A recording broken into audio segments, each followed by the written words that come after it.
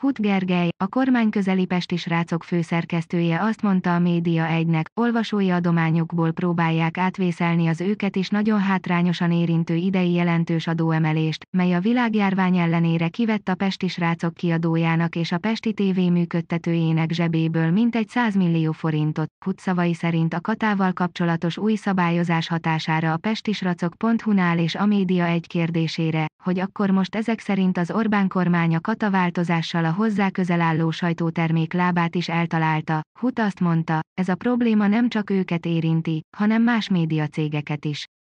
arra, hogy annak idején miért nem bírálták érdemben a lapjukban a kata változást, ahogyan azt megtették a független lapok, a főszerkesztő azt mondta, ha a kollégáinak szándékában állt volna bírálni az adóváltozást, ennek nem lett volna akadálya, Hut hozzátette, volt már gyűjtésre példa, máskor is több ügyet támogattak már az olvasók, dokumentumfilmek elkészítését, gyakornoki programot alapítványon keresztül, úgyhogy reménykednek benne, hogy ez most is összejön, arra, hogy mi van, ha ezúttal nem jön össze sok pénz, mi történik, le kell állítaniuk valamit, a PS főszerkesztője azt mondta, ez egy új helyzet, nyilván nem örülnének neki, majd Hut Gergely utalt a század végfelmérésére, ami alapján a pestisrácok.hu a második legkedveltebb, legerősebb brand a jobboldali internetes médiatérben az Origo után.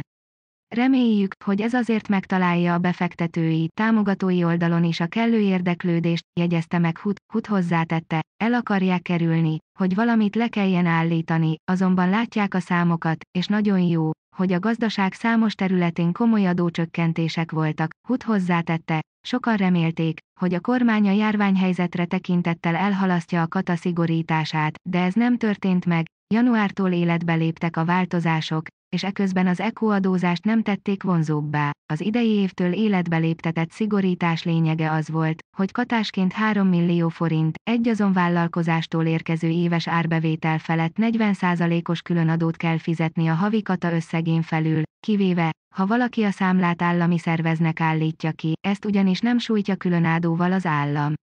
Különadót vetettek ki arra is, ha valaki külföldi cégnek, például a Google-nek számláz, a törvényt sok bírálat érte, a Fidesz mégis átvitte azt a parlamenten, majd Áder János köztársasági elnök is aláírta, borító, Hut Gergely, a Pesti srácok főszerkesztője a hírtvében korábban.